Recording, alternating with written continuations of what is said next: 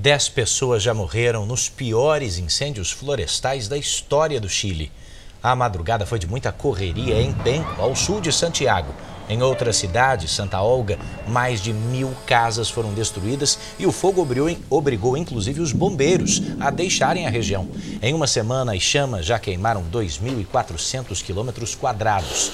A presidente Michelle Bachelet pediu uma reunião de emergência para identificar os responsáveis. O Brasil deve enviar bombeiros e um avião para ajudar o país.